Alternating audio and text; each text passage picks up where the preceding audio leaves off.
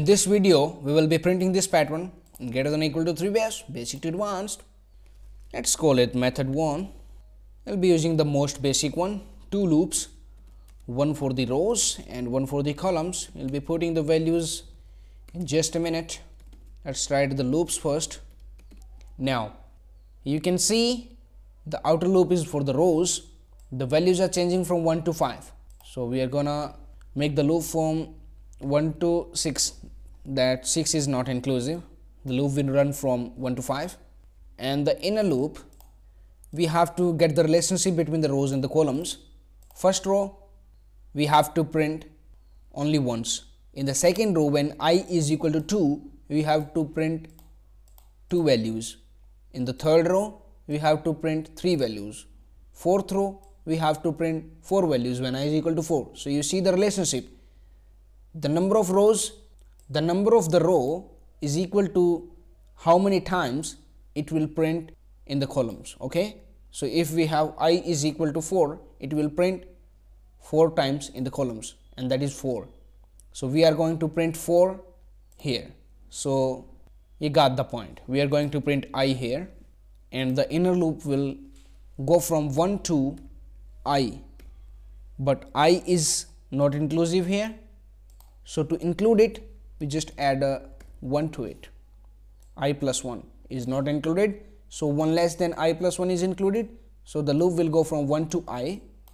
So, if we have 4 the value of i is 4 the loop will go from 1 to 1 less than 4 plus 1 5 that is 1 less than 5 that is 1 to 4 the loop will go from 1 to 4 and 4 will be printed 4 times as the inner loop runs 4 times 1 to 4 okay? 1 2 3 and 4 end if you want to give a space between the columns just type a comma and type and equals in the single quotes type a space. And after execution of this loop because of end it will print the values of i in the same row. So after execution of this loop we are printing one carriage return so that in the next iteration of value of i we get the print in the next row. Okay? And now let's execute it. And here you can see the required pattern. Now in the method 2 we are going to reduce the number of loops. Here we have two loops. Now we are going to use just a single loop to print this required pattern. You should always try by yourself by pausing the video and try it yourself so as to learn by yourself. Otherwise you won't learn that much. Be just looking at the video and just skimming it over. That's not going to help you. So let's print it by using one single loop. Let's start the value of i from 1 and we are going to use a while loop. I will be going until 5 so less than 6 and we are going to use a print statement here. And in the parenthesis let's use string formatting. Okay?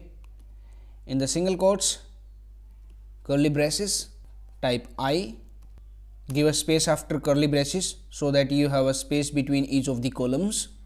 And now multiply it with i so when i is equal to 1 it will be printed once. I is equal to 2 2 times. I is equal to 3 it will be printed 3 times and so on okay?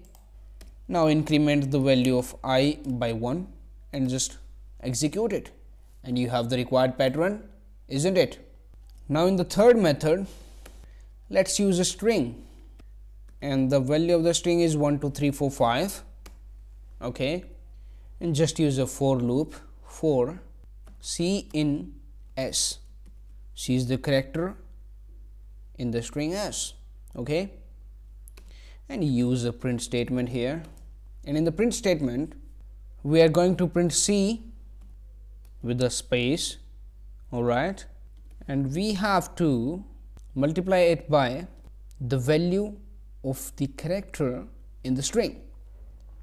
So this is a character. We have to convert it into integer. So we are going to use this int method here and pass the value of c in it. So, in here you can see one is converted into integer here and one is printed with a space one times after converting it into the integer. Similarly for 2 3 4 and 5 okay? And let's execute it.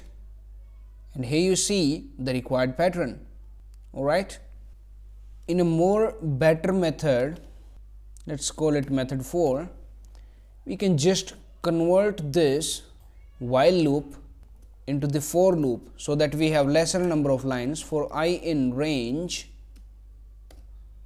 1 to 6 it will go from 1 to 5 1 less than 6 and use the print statement here. Okay?